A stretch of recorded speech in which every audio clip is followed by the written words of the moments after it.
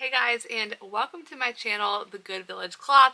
I'm Emily, I'm the owner of The Good Village Cloth Company, cloth diaper mom and of four so I got a lot to offer. At the beginning of this month, I debated on whether I was going to start doing virtual classes because I am an educator and now that I've shifted my career over to running my business full time, I really want a way to still be able to give education to moms that might be interested in cloth diapering their littles here at the Good Village Cloth, we are going to make that happen for you. But I thought, you know what, instead of running these classes, I'm going to make videos on all the information that I have learned over the past 10 years as a cloth diapering mom and hopefully it sticks around for a while to come so that everybody can benefit from some good cloth diapering advice unbiased cloth diapering advice. I know there's a lot of it out there and I just feel that my situation that I have gone through over the past 10 years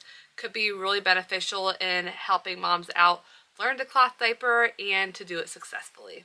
I'm so excited to get this channel started. I'm going to tell you all the tips and tricks that I've learned over the past 10 years and we're really going to get into it. If you have a request for any videos on things that you might want talked about or how to learn cloth diaper. We're here to help you cloth diaper your littles and be successful at it. I am so excited to start this journey with everybody and if you want to follow with us along the way go ahead and click the thumbs up and the subscribe button.